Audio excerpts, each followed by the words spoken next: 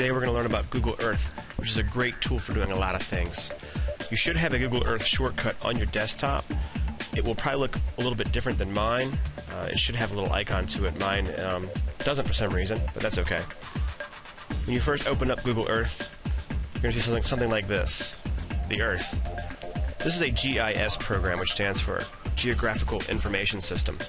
And what it does is it takes imagery from satellites, puts it all together, and gives us a very realistic, lifelike view of the Earth. The first thing we're going to do is familiarize ourselves with the interface of Google Earth. Like most programs, we have the typical keys up top File, Edit, View. When I need to save, of course, I'll go to File. We have the main window that shows the Earth. And we have three important parts of this taskbar over here we have the search bar, the places bar, and the layers bar. Any one of these can be minimized to get it out of the way. We can also come in between them and move them up and down to reshape them. I have several things to show you about Google Earth, so I'm just going to start going through them one at a time. If I want to see a certain place in Google Earth, all I have to do is come here to my search bar, make sure that I'm on the Fly To tab, and I can type in any place in the world that I want to see. The more information I give, the easier it will be for Google Earth to find the place that I'm looking for.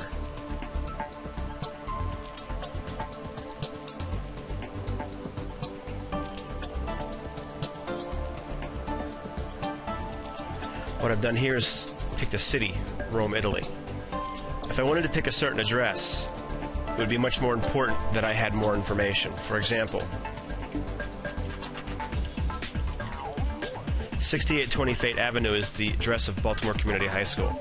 But I can't just stop there because Google Earth won't know which, where to go. I need to have a comma, Baltimore, Maryland, and what's even better is if I know the zip code. It won't appear quite so choppy on your own screen. As I'm recording it, it sort of slows down my computer and make things um, not quite as easy to see. So here have a bird's eye view of our school. And if we zoom in using the mouse wheel, you'll see that we have our bus loop. Here's the field, parking lot here's Fait Avenue, which most of you walk down to get to. What's even cooler is I can come over here to my navigation bar, click on this little orange guy, drag him off, and after a second or two, these streets are going to light up blue, and that means that any one of those streets is available for what's called Street View. So I'm going to cl- click right down here and drop the little orange man. And we're going to hop into what's called Street View, which is exactly what it sounds like a view of this place as it would look like on the street.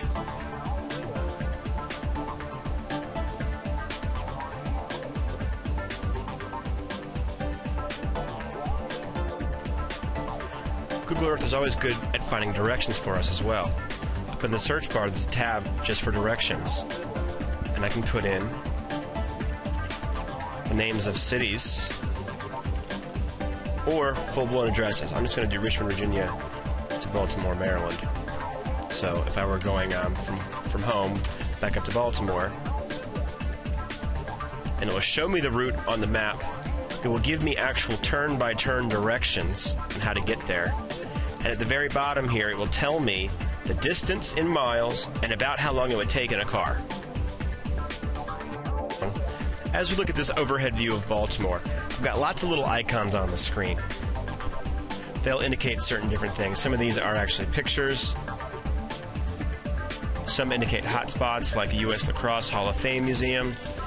This is probably a museum. And I can decide what's on my screen and what's not on my screen using layers. Right now, I have certain layers that are turned on. I have borders and labels, which allows me to see the names of places and the border. So I can see the border of Baltimore City right here. If I unclick that box, that all goes away. I also have the places layer turned on. If I turn that off, there go the places. And turn off photos. And there are lots of layers for you to play with. I would suggest keeping borders and labels turned on. And I'm going to point out at least one more really cool layer. So what I'm going to do is using this, the scroll wheel, I'm going to zoom in to Baltimore. And what I'm going to do is I'm going to hold down the mouse wheel and pull the mouse down a little bit, and I can actually get a better view of Baltimore. And I'm going to turn on the 3D buildings layer. And after a couple of seconds, the buildings in Baltimore will start, will start to pop up.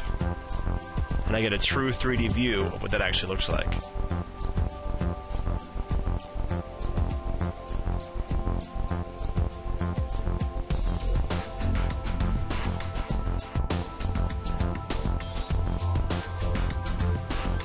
Since I already have a nice view of Baltimore here, I'm going to show you one of the coolest features of Google Earth. Not the most useful, but still a lot of fun. If I come up here to the Tools section, I can enter what's called the Flight Simulator. And trust me, even though the F-16 is cooler, I'm going to try and fly around in this little SR-22. It's much, much easier. So I'm going to press Start Flight. And it's going to allow me to actually fly around the place that I'm looking at right now on Google Earth. This is going to end up being really choppy since I'm recording it. It'll be a lot easier for you. And it definitely takes some practice. Um, if you've never flown an airplane, what you might not realize is that in order to move up, you actually have to press down, um, and vice versa. Um, so I'm not doing a very good job right now, but I just wanted to stop for a second to show you that you can actually fly around certain places. Um, and it's a really neat way to explore um, new areas. So give that a try. Want to talk for a few minutes about some of the tools that we can see on the top here. Some of these will be very important as we progress through Google Earth. At the moment, I want to talk to you about this tool right here, which will allow me to see the sunlight as it moves across the landscape. So I'm going to click that button, and this toolbar pops up, and it will allow me to change the time and show me what certain parts of the world would look like at certain times of day. So, in other words, when they would be in the light, when they would be in the dark. I'm going to unclick that now. Another really important tool right here is that not only is this Google Earth, but I can check out other places too, including Mars, um, the moon, and the night sky. So if I just click moon, after a few seconds, the view will change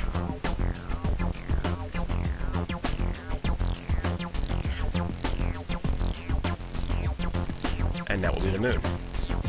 Now, you can't do street view on the moon, uh, but there are lots of things that you can look for on the moon by turning on certain um, layers here on the left, uh, different moon landings, different pictures, um, and it's a lot of fun. You can also check out Mars and the night sky.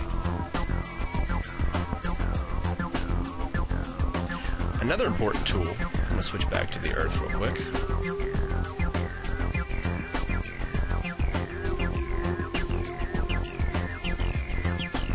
Is what's called this, the Paths tool. I'm going to go back to Baltimore.